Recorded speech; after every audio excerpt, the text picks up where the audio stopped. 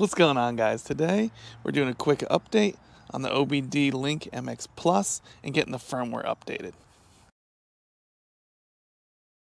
Alright guys, so we're going to get the firmware updated on here. This is a quick follow-up. This is going to be a short video just to kind of make sure that I'm continuing on with the promises that I said of getting this thing going.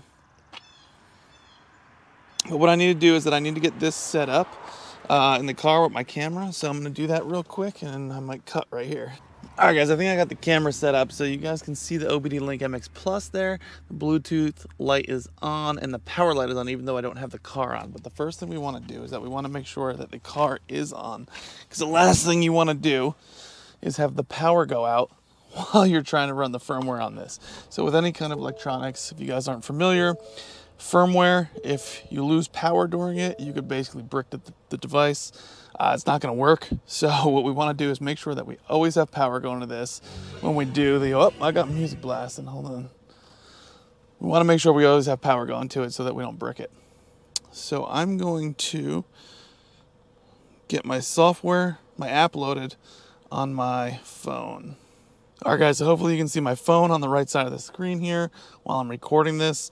I'm going to click on the, actually, you want to know what? I'm going to move this camera to make sure that it's on the left side so that we can see that and see the OBD Link software. So I'm gonna load that up.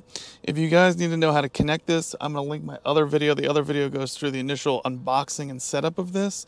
We're not looking to do that right now. What we're looking to do now is just get the firmware updated.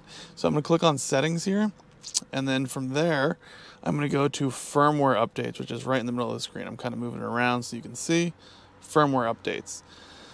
So here we can see that the firmware version that's currently on there is 5.4 and there's a new version 5.6.15. The reason why we want to update firmware is to make sure any bugs that have been found are now worked out. They update the code um, along with any kind of additional features maybe within the software to be able to do that. So I'm going to click check updates, just check one more time, make sure that we have the latest version. Yep, 5.6.15 is the newest, so I'm going to click on that. And then I'm going to click Update Firmware. And you can see at the bottom it says Summary Bluetooth Improvements and Fixed Connectivity Issues. If I click on New Version, it shows you all the different ones. So we're going to the latest. I'm going to click Update Firmware. This utility will update the firmware. It gives you a uh, quick disclaimer and it says do not disconnect the device or turn off the vehicle ignition. Like I said, we do not want to lose power during this. So I'm going to click the update firmware now. I have no idea how long this takes. So it says it's loading the firmware.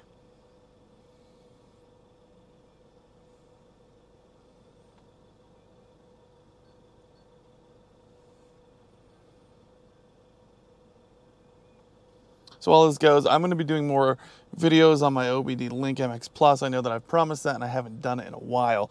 I've been doing a lot with mountain biking, which I'm going to continue doing. However, I wanted to get this one done just to get you a quick video uploaded to let you know I'm still playing with this. I'm still using the FORScan with my car so we can uh, play around with that in the future. So OBD Link firmware loader, firmware loading completed successfully. Click OK.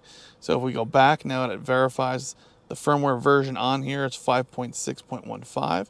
We're going to click check for updates just to make sure that there's nothing else. There's not.